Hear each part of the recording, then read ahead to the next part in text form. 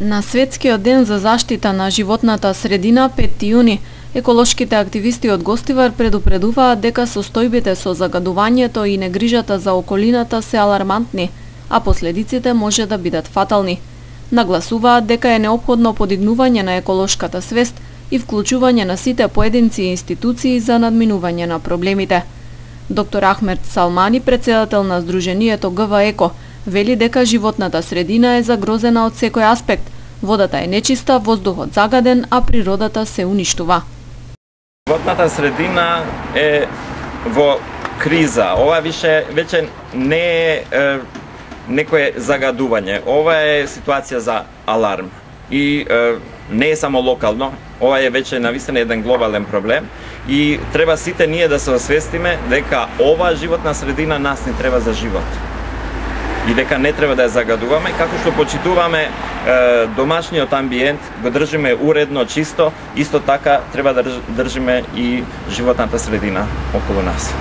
Па секој од нас треба да направи тоа да престане да ја загадува животната средина, да ја почитува и е, да се активира не е доволно само тоа да не загадуваш, него сега е потребна помош сите што сме свесни дека сме во криза на животната средина, да се активираме, ако треба и да протестираме и да лобираме и е, да бараме животна средина која е здрава и чиста и една таква здрава средина да оставиме на идните поколенија.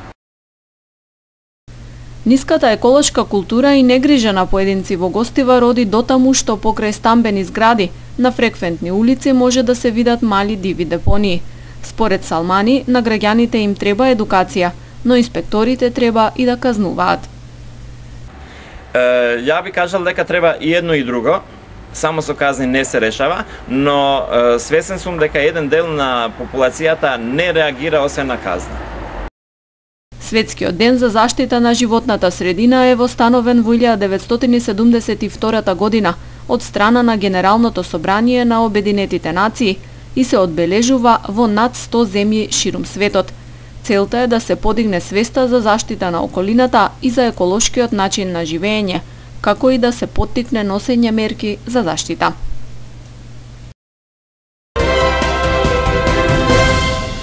Во касарната Кузман Јосифовски Пито во Тетово се одбележа 18 годишнината од загинувањето на војниците од Тетовската касарна за време на војниот конфликт во 2001 година. Настанот започна со интонирање на македонската химна и химната на Арама, а почит на загинатите им беше оддадена со едноминутно молчење. Иса Круфати, Никол Чекитанов, Пеце Матичевски, Владко Миленковски и Благоја Силјановски загинаа во заседа на 5 јуни 2001 година на патот Шипковица Гајре, додека Блашко Толев на 1 јули загина од минофрлачка граната. Исак со својот возач Николче свесни за, сложена, свесни за сложената ситуација на теренот, се упатиле кон своите соборци за извршувајќи својата мисија, логистички да ги обезбедат со храна и вода. Тие целосно ја завршиле поставената задача, но нивното враќање било кобно, загинувајќи во заседа кај гај. Малку подоцна истиот ден, 5 јуни, во заседа загинуваат Пеце, Владко и Благоја, кои за жал не успеале во својата намера да им помогнат на своите собрци. Младиот Блашко Толев од Кавадаречко село само неполни 24 часа го делеле од завршувањето на воениот рок, а со тоа и враќање кај своите најблиски. Тој и неговиот прво предпоставен го направиле динамичниот план за дозавршување на војничките обврски и негово враќање кај своите родители. Но за жал, на последниот ден од воениот рок загинува од минофрлачка граната на Тетовското кар. Почитувани, сите тие со својата пожартуваност и должност кон татковината докажаат дека Не вреди да живееш ако нема за што да умреш. Оваа максима може би само за малку ќе ублажи болката и ќе најде утеха за загуба на нашите шест припадници кои летото 2001 година извршувајќи ја својата должност, загина во борбените операции. Но вистинската загуба и болката која пред се ја чувствуваат семејствата не може со ништо да биде надополнета. Нашите сомборци не можевме да ги спасиме од физичката разделба, но нема да дозволиме тие да умрат и во нашите сечава. На спомен плочата каде се запишани имињата на шесте војници кои ги положија животите за одбрана на татковината, букети цвеќе положија делегации на третиот механизиран пешадиски батальон, предпоставената команда, одборот на бранители, Сојузот на борци Тетово, Организацијата на резервни официри Тетово, Сојузот на ветерани од одбраната и безбедноста и Сојузот на воени инвалиди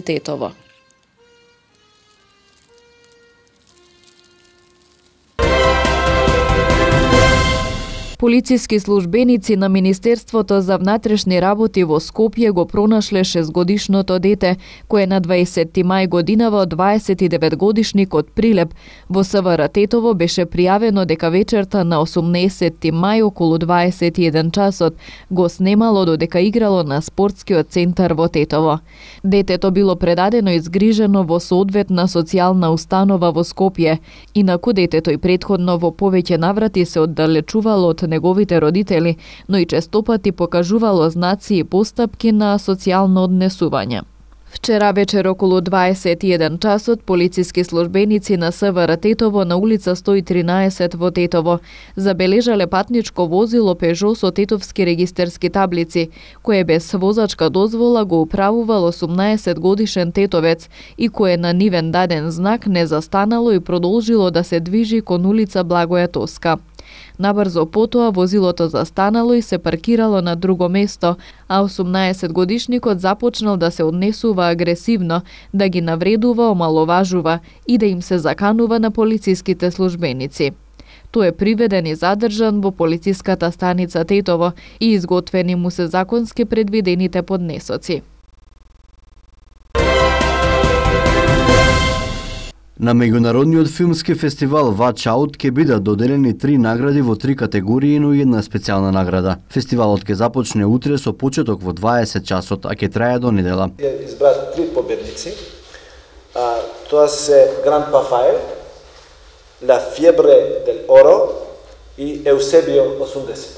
Значи, овие се три филма. Додека за филмот Фенс, а, значи, журито одлучи дека надвор конкуренција од, од филм кој е победник на многу награди, помеѓу кои Sundance Академи за, за, за краток филм и на неколку светски награди ќе бидат присатни и журито одлучи да им дава special mention prize. Истакна Бујар Љумо од невладината организација Луја. Од оваа организација која го организира фестивалот, ќе одбележат 20 години од нивното основање. Вела дека за овие две децени успеале да останат објективни и да им го пружат на тетовци тоа што им недостасувало, како во полето на културата, но така и на другите сегменти од општественото живење. Забележале дека со нивните активности ги пробудиле властите да преземат чекори во поглед на доближување на културата до народот. Тоа што Лоја покажа во овие неколку години е дека може да се оперира во комплексна ситуација, во ситуација како што е нашето општество, кај што нема многу разбирање за овој тип на работа, во држава која е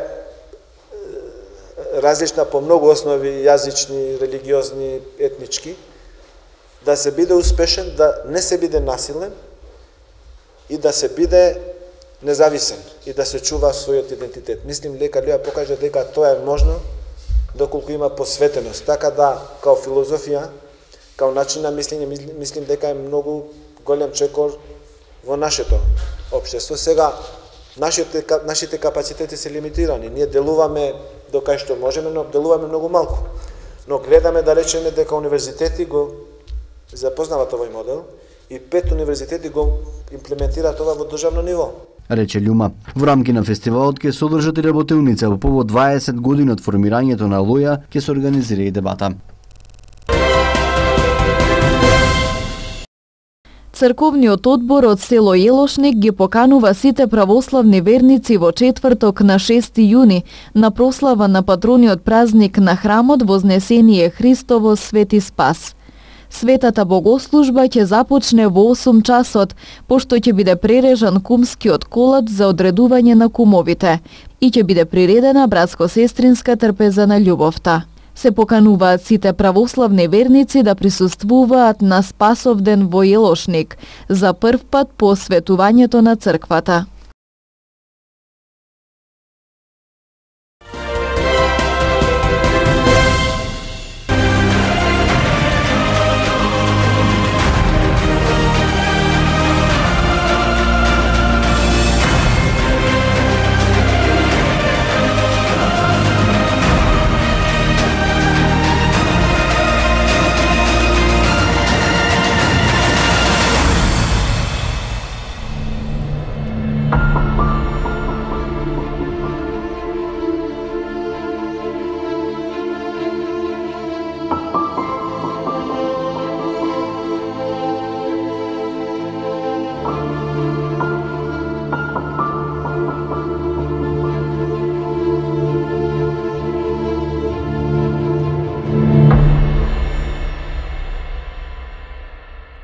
Граѓаните да нередко се принудени да талкаат од институција до институција за еден обичен документ.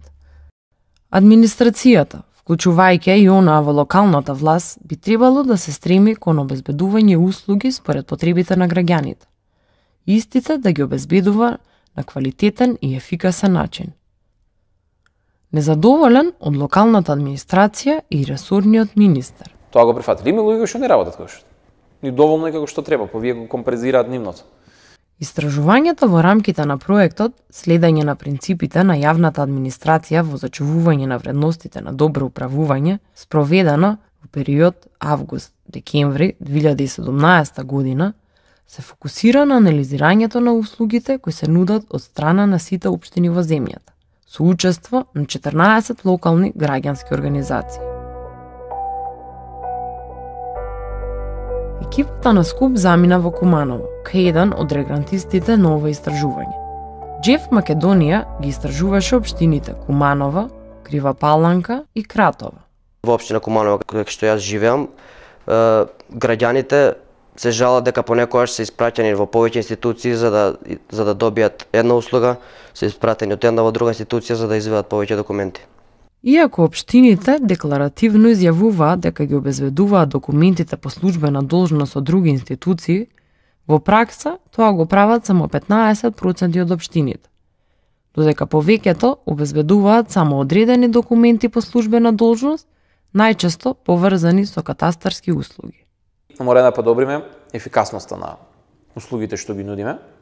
Еден од механизмите кој што сега од декември ќе почнеме да го спроведуваме е отварањето на првата канцеларија за една точка за услуги, кај што девет институции кои што најчесто имаат контакт со граѓаните, ќе ги ставиме на едно место, да, на исто место нудат услуга. Од општина Велес се подготвуваат за современ објект кој треба да биде во функција на граѓаните и каде на едно место ќе добијат повеќе услуги. Сакаме да направиме еден современ центар за услуги на граѓаните или граѓански сервис центар по примерот на фронт офис и бек офис, значи предна и задна канцеларија, за да може граѓаните на едно место да ги добијат сите услуги, без да огледали услугите ги добиваат од органите на локалната власт или од органите на централната власт. Да може на едно место да дојдат граѓаните, да извадат извод од матична книга на родени, умрени, венчани, лична карта, возачка дозвола, совраќајна дозвола, пасош, имотен да си платат данок, дозвола за, за оружје и дури да има шалтер на македонски пошти за да може тука да се го регулираат плаќањето, а не сега да одат од еден шалтер на друг шалтер, затоа што државните институции се распрскани на многу места во градот.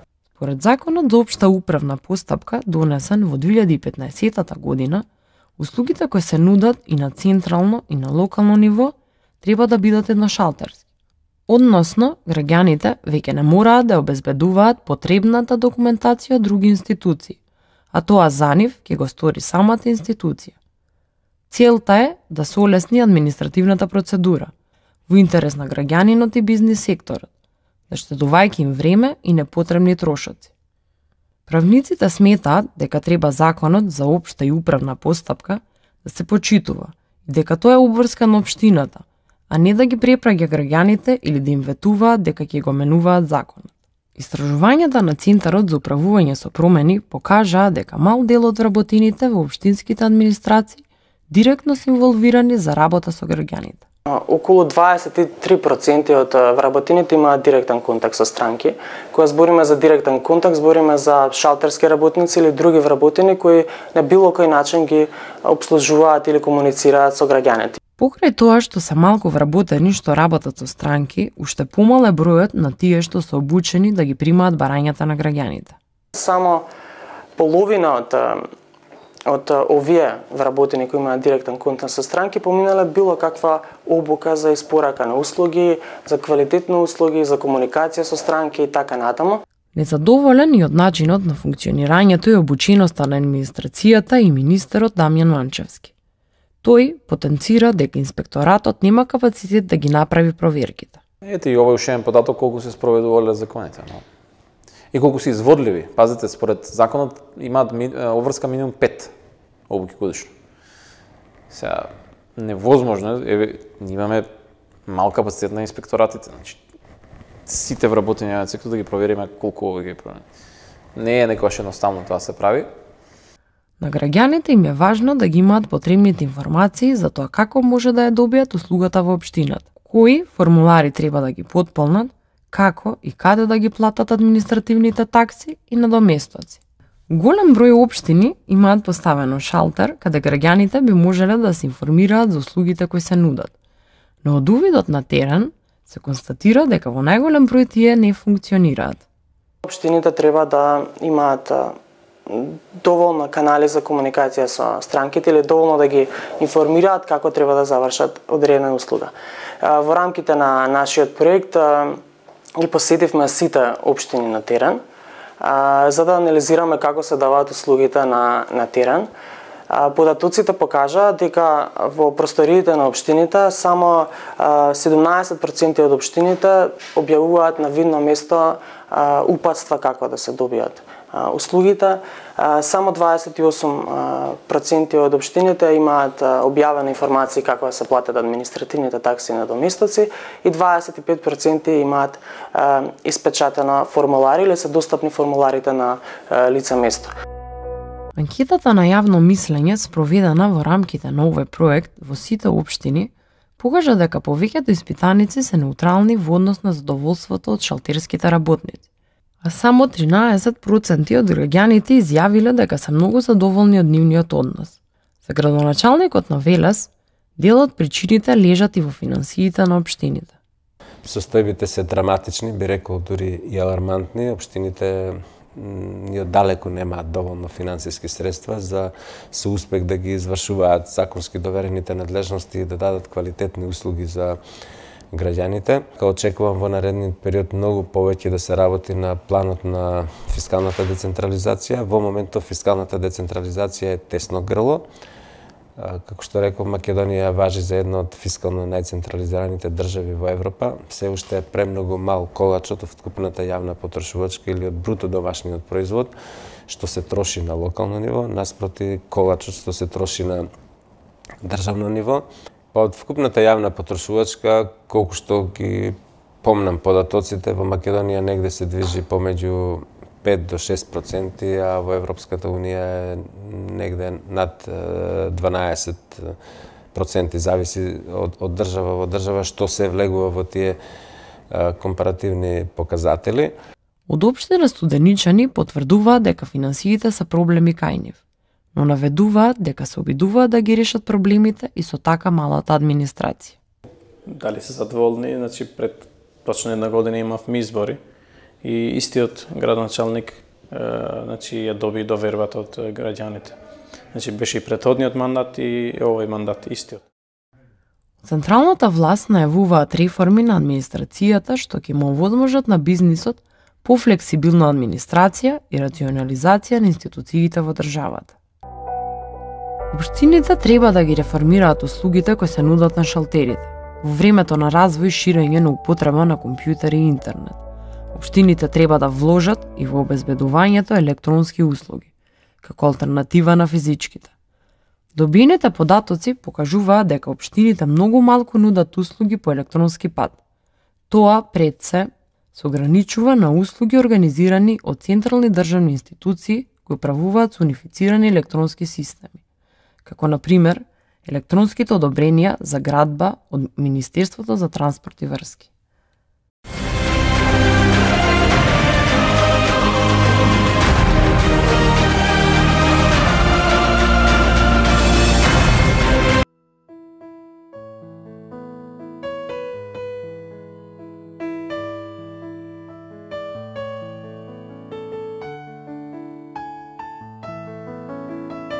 Времето денес беше променливо облачно со сончеви периоди, на места со дошт и грмежи. Локално во форма на невреме со грмежи, засилен ветер и појава на град. Температурите се движеа во интервал од 10 до 22 степени Целзиусови.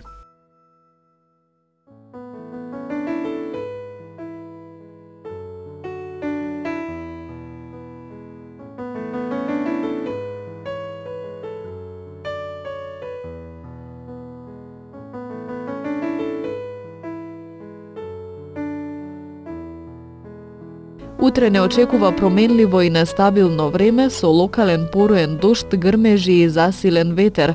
Температурите ќе се движат во интервал од 11 до 25 степени Целзиусови.